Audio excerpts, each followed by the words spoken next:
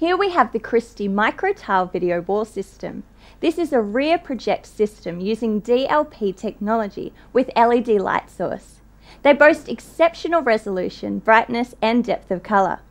The modules can be scaled to any size, shape and orientation, forming a digital canvas with minimal 1mm seams. Prices depend on configuration. Expect to pay around 5000 per tile plus extra for the control unit. How do we see these being used, guys? Well, I got to talk to the guys from Christie, but you know, I was sort of thinking I'd take it home and put it in my living room. Um, aside from that, Yeah, I, I think it's a great machine. Um, for from my background, it's a great uh, innovation for theatre. Um, it's a scene, it's a backdrop, it's very handy. Uh, it looks pretty light, pretty simple.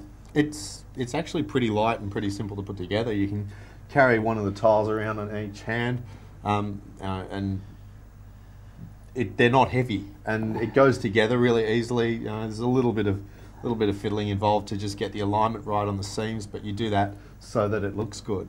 Yep. Um, seminar work, I think it's a good background. Um, Trade shows, um, architectural, motor shows. Yeah. I think it's a I think it's a good good install product. Uh, I mean, you can use it in any environment, but I think where there's a lot of things about that's going to benefit the um, the architectural background.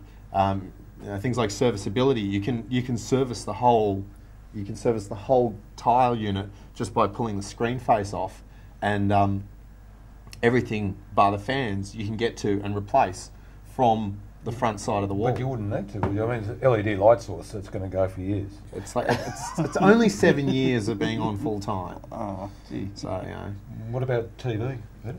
I'd really like to see it being used for uh, creating electronic scenery backgrounds for live concerts and conferences where you have the problem of a sustained mid shot of a presenter or lead singer and you need to fill up the background with something interesting and good looking and this provides a chance for high quality, high intensity uh, designed backgrounds. that's and, and keeping keeping the image when you zoom in. Mm. And, and of course, you can control the brightness of the screen and the color balance of the screen, the color temperature, to match that of the lighting to suit your cameras. So how, how bright are we running right now? okay. Right now, um, we're running at about fifteen percent. So, It's very bright. so in a big auditorium situation, Yep. you're going to get clarity at the back of the room. Yep. What's it like when you get close? Do you get that pixelated face? No. It's great. it's great. It's it, the the native resolution on, on each tile is actually quite high.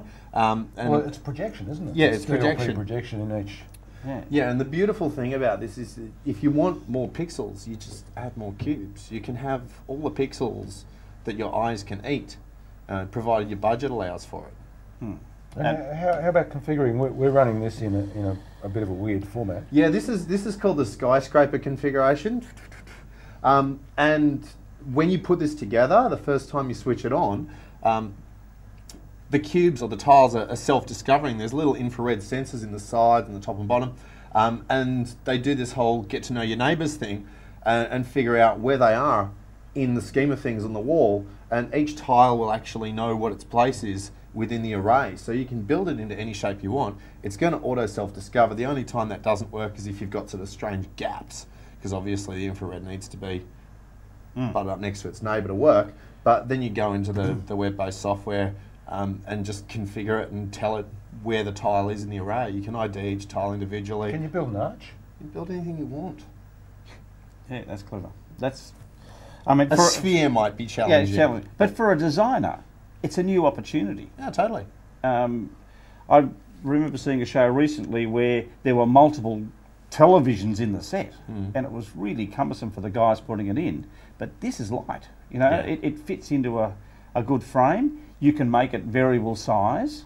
Mhm. Um, and I imagine that later on you could link it all so it becomes one big image. Um, if you've seen Hairspray, that's all screens, big screens, and really works well. It's a bit pixelated, but this would uh, overcome it. Look, the to my mind, my way of thinking, and, and as the guy who had to render out the gearbox video that you're seeing on it now, the, the biggest challenge with this is not the installation, it's not the power consumption. This is all running off like less than 10 amps.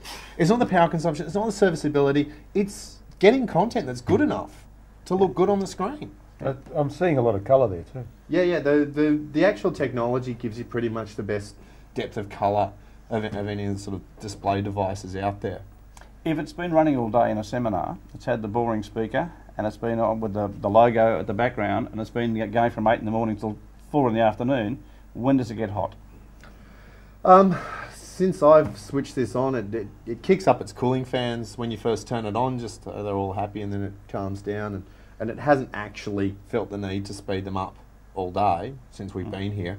Um, if it gets really, really hot and bothered and upset, like if there's you know, sort of a really hot ambient environment or something, um, there's actually a little actuator. Each tile is magnetically, each tile has a magnetic screen which attaches to it, and the little actuator will actually push out the bottom edge of each tile just to let it suck a bit more air through. And then when it cools back down, they just pop back in. From the front, you're not going to see it. No.